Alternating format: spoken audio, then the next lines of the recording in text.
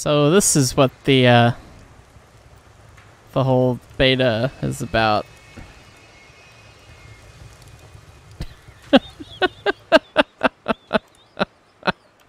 uh, there's train cars everywhere. This model didn't even get replaced and it got yeeted. Well, that's a bit of a mess. Well, Class 70's still on the rails. What's up, guys? This is Hyce. And today I've got a pretty big announcement for you guys. And that is that I'm actually going to be leaving Railroads Online, at least in the capacity of community manager and developer. Before everyone runs and gets pitchforks, uh, know that this is mostly a personal thing for me, and, and I still want to see the project succeed. You've probably noticed lately that we haven't played the hardcore map. I haven't been active on the Discord. I haven't really posted videos about Railroads Online, and that's just because life has just been really, really busy these days. I'm thankfully going to be moving to Colorado to start working at the Colorado Railroad Museum once again, full time. But the transition to get there, dealing with tying things up at my house in Seattle, cleaning things up, getting all that figured out, and then moving and packing everything up. Uh, it just takes a huge amount of time because I mean the house is a bit of a project and everything, and there's a lot to finish up. So I haven't really had the extra time to focus on being a community manager or being a developer.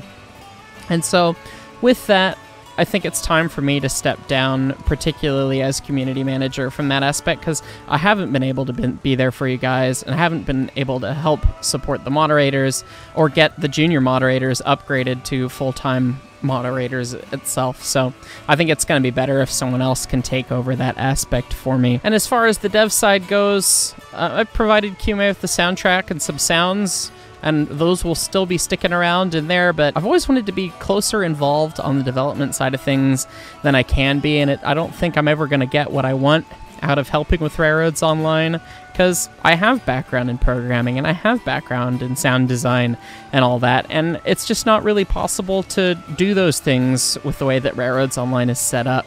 So, more fun things to come on that front in the future, so make sure you stay tuned. Wink, wink, wink. But uh, that, that's kind of where that's coming from. But the soundtrack will stay with the game, so all the sounds are provided. None of the stuff is leaving.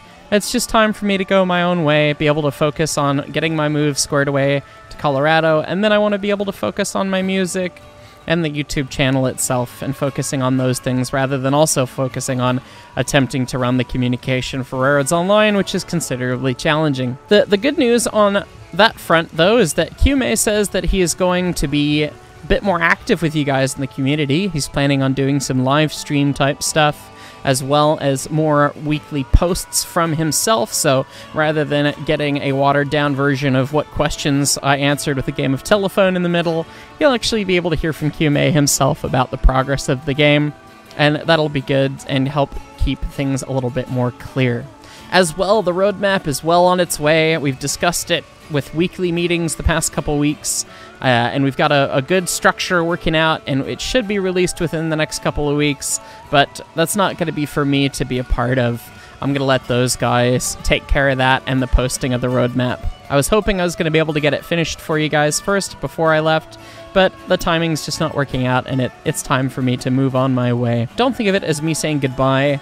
I still love Railroads Online. I love to see what's going to come with the game. It's still a super fun game and has built this really fun community of wonderful people together and introduced me to a lot of wonderful people that I love to work with. So we'll still probably have videos about Railroads Online on the channel. We'll still play the game, still have fun with it, but I'm just not going to be taking that close-handed role that I was trying to take previously. So I hope you guys can understand that and where I'm coming from and, and know that the game is still going to progress just as it was with or without me, uh, as I didn't really have impact on the dev schedule itself. So, anyways, guys, thanks so much for watching. I hope you guys understand, and we'll see you all next time.